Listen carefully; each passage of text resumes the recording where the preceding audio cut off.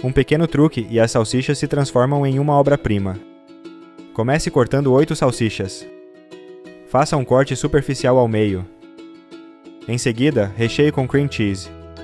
Preenchendo toda a abertura que fizemos, deve ficar dessa forma. Para essa receita utilizei 200 gramas de cream cheese. Após ter feito isso, junte as salsichas em pares e envolva elas em três fatias de bacon. Repita esse processo com todas as salsichas.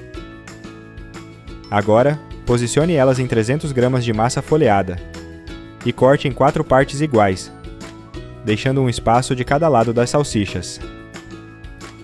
Aproveite este tempo para compartilhar o vídeo e escrever nos comentários a cidade de onde você está nos assistindo, que iremos reagir com um coraçãozinho especialmente para você. Ah, e obrigado por compartilhar este vídeo. Depois pegue uma dessas partes, corte cada lado da massa em seis tiras e cubra trançando a massa. Repita esse processo com todas elas. Você tem o aplicativo Aquela Receita? Ele está disponível para ser baixado. Com ele você terá todas as receitas na sua mão e será notificado toda vez que fizermos uma receita nova. Além disso, você terá uma área exclusiva onde poderá favoritar as receitas que mais gosta de fazer. Vai lá na App Store ou Play Store e procure por aquela receita e coloque para baixar. Agora passe para uma assadeira untada com papel antiaderente.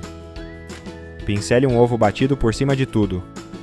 Leve para o forno pré-aquecido a 180 graus Celsius e deixe assar por 25 minutos. Mas fique de olho, esse tempo pode variar de acordo com a potência do seu forno. Esse é o ponto ideal. Para finalizar, acrescente ketchup e mostarda a gosto. Eu espero que você esteja gostando da receita. Compartilhe ela com os seus amigos. Fazendo isso, você estará nos ajudando a chegar ainda mais longe aquela receita já está pronta. Você pode servir e se deliciar. Eu espero que você tenha gostado dessa receita. Agora eu vou lá nos comentários deixar um coraçãozinho para todos que escreveram o nome da sua cidade. Até a próxima receita. Tchau, tchau.